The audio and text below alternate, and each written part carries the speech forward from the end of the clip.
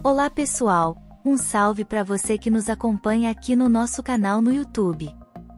No vídeo de hoje iremos falar sobre o pau-brasil, que, sem dúvida, é a madeira mais importante da nossa história.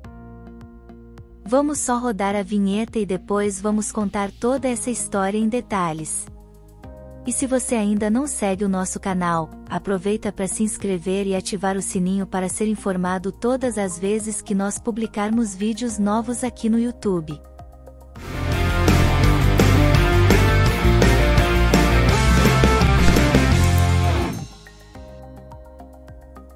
O pau-brasil foi o responsável pelo primeiro ciclo econômico do nosso país.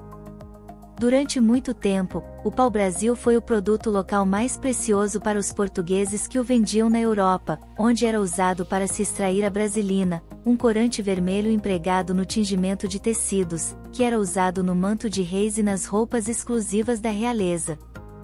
O pau-brasil foi mencionado, pela primeira vez em 1648, pelo naturalista George Markgraf, em História Natural do Brasil, que, juntamente com o médico Guilherme Piso, compôs a missão científica e artística organizada por João Maurício de Nassau ao Nordeste. Mas quem primeiro classificou botanicamente o pau-brasil, foi o naturalista francês Jean-Baptiste Lamarck que, em 1789, estudou e descreveu cientificamente o pau-brasil e o denominou de Cesalpine equinata, sendo os termos Cesalpine em homenagem ao botânico e médico André Cesalpino, e equinata por ser uma árvore que possui acúlios no tronco e nos galhos. Acúlios são estruturas pontiagudas, comumente confundidas com espinhos. Um estudo publicado em 2016 comparou sequências de DNA do pau-brasil com as de 200 outras plantas geneticamente próximas, também provenientes dos trópicos, e revelou que a árvore brasileira pertence a uma linhagem evolucionária única, o que lhe permitiu o direito de ter um gênero próprio, pau-brasília. Ficando a espécie, pau-brasília equinata. O pau-brasil é uma espécie que ocorre naturalmente do Rio de Janeiro ao Rio Grande do Norte, espécie litorânea, e não das matas do interior do Brasil, tanto que logo foi encontrada pelos descobridores após a sua chegada. Na Amazônia nunca houve pau-brasil. Por lá, vende-se alguns artefatos de madeira vermelha, como se fossem de pau-brasil, mas quem compra está levando gato por lebre, pois trata-se de pau-rainha ou muirapiranga, duas madeiras também de cor vermelho intenso. Uns dizem que a palavra Brasil deriva da palavra portuguesa brasa ou braseiro, referência comum em algumas publicações. Em outras, faz-se menção ao termo celta breazail, que era um produto obtido das cinzas e que também remeteria a vermelho, e há a lenda da ilha de Rai Brasil. Local que chegou a constar em mapas entre os séculos 13 e 15, sendo situada geralmente a oeste da Irlanda. Adeptos dessa teoria sugerem que o nome Brasil seria uma referência a essa ilha de lendas europeias. Os franceses da Normandia, que logo após o descobrimento se tornaram os primeiros traficantes de pau-brasil para a Europa, batizaram com esse nome a preciosa madeira vermelha que aqui vinham buscar. A palavra Brasil difundiu-se a tal ponto que, segundo o historiador João Ribeiro, Brasil na verdade é um galicismo, o primeiro galicismo da língua brasileira. Mas a madeira de pau-brasil recebeu outros nomes ao longo da história. Ibirapitanga, do Tupi, e Mirapitanga, que significa madeira vermelha. Arabutã, Araboutã e Ourabutã, dados pelos autores franceses Tevet e Lerre. Fernambucos, conhecido por este nome na Europa. Sapanrous, denominação da espécie procedente da Ásia. Boa Brasil, França. Brasil Wood, ingleses. Angico, no Piauí, essa, denominação de origem africana. Outros ainda, lenho rosso, na Itália, Bahia Wood, Brazilian Rose. Inicialmente o Brasil não se chamava assim. Recebeu diversas denominações. Ilha de Vera Cruz, Terra Nova, Terra dos Papagaios, Terra da Vera Cruz ou do Brasil, Terra do Pau Brasil, Terra de Santa Cruz, Terra do Brasil. Terra Santa Cruz do Brasil e só a partir daí Brasil. O curioso é que ser brasileiro era estar envolvido na exploração do pau-brasil, era uma atividade laboral, uma espécie de profissão, assim como marceneiro, carpinteiro, ferreiro. Não era um gentílico. Ser brasileiro não era pertencer a uma nação, como os italianos, americanos ou portugueses, franceses, japoneses. O pau-brasil foi a árvore que deu nome ao nosso país, que nos tornou brasileiros. O interesse pelo pau-brasil na época da colônia era a extração do corante vermelho do cerne de sua madeira.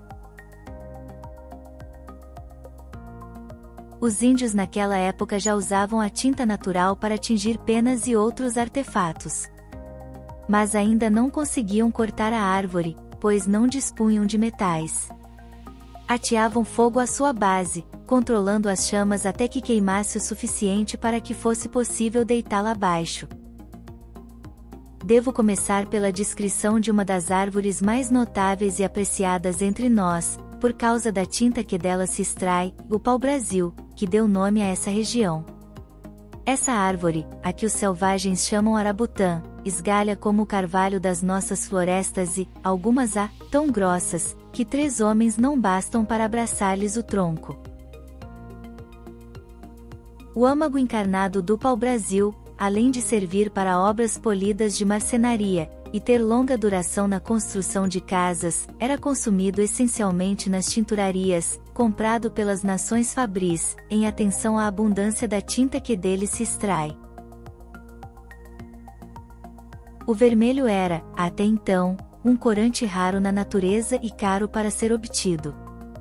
Usava-se até moluscos e crustáceos para a obtenção do vermelho para tingir roupas, a Europa se encantou com a gama de cores que podiam ser obtidas com a brasilina. Dependendo do pH usado na solução em que se mergulhava as lascas e o pó da madeira obtinha-se um tom diferente, do alaranjado até o vermelho intenso, cor de vinho e, até mesmo, a cor roxa. O escritor Eduardo Bueno nos conta que os primeiros documentos que dão conta do comércio de pau-brasil, datam do ano de 1085, numa vila francesa chamada Saint-Omer, onde se lê numa nota da alfândega, quer cabercio ou carga de Brasil, o pau de tinta.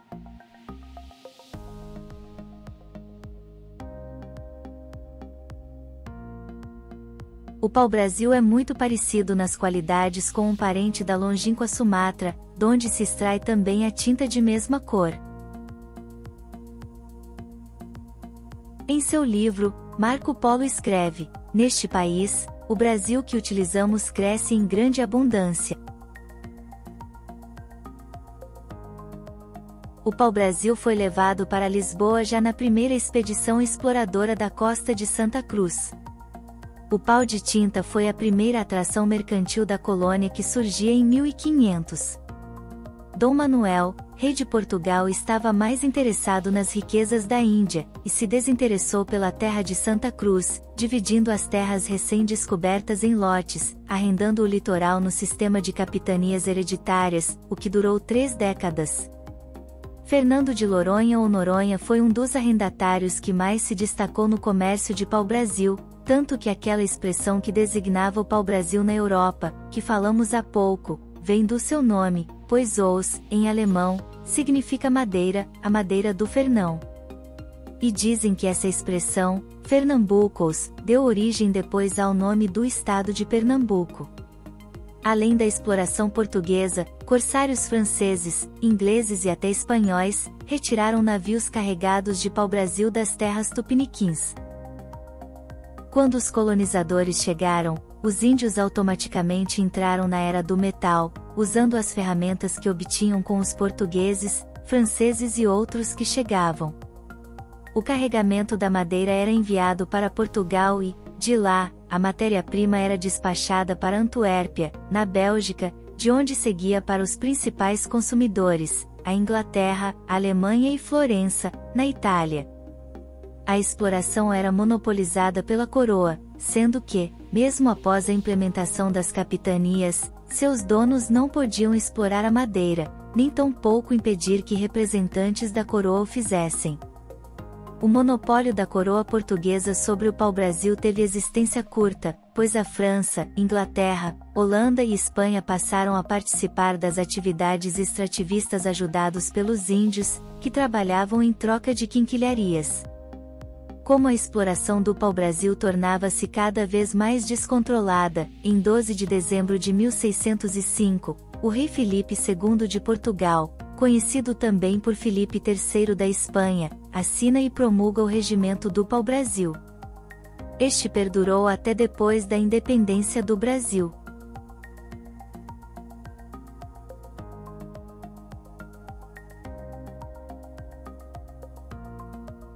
E toda pessoa, que tomar mais quantidade de pau de que lhe for dada licença, além de o perder para minha fazenda, se o mais que cortar passar de dez quintais, incorrerá em pena de cem cruzados, e se passar de cinquenta quintais, sendo peão, será soltado, e degradado por dez anos para Angola, e passando de cem quintais morrerá por ele, e perderá toda sua fazenda.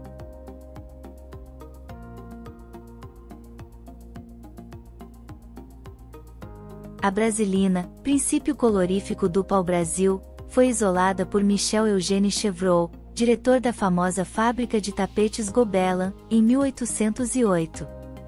Coube a Robert Robinson, Prêmio Nobel de Química de 1947, o privilégio de chegar à estrutura química da substância responsável pela cor vermelha do pau-brasil. Atualmente restam alguns trechos de Mata Atlântica onde ainda existem as últimas árvores nativas de pau-brasil. Ainda assim, a espécie continua ameaçada por exploradores ilegais que vendem a madeira para o mercado internacional de instrumentos musicais. Em 1775, em Paris, François Tourte projetou o primeiro arco de violino com a madeira do pau-brasil, pois considerou a madeira ideal para essa finalidade. Até hoje a madeira de pau-brasil é procurada no exterior pelos arqueteiros para a confecção de arcos, pois é a única que reúne características ideais de ressonância, densidade, durabilidade, beleza, capacidade de curvatura, peso e qualidades acústicas.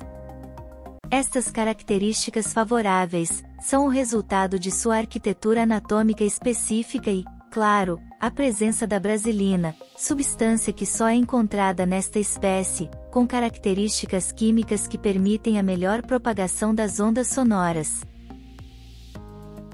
O Dia do Pau-Brasil foi criado em dezembro de 1978 com a Lei 6.607, que definiu a espécie como árvore nacional, e o dia 3 de maio como sua data comemorativa.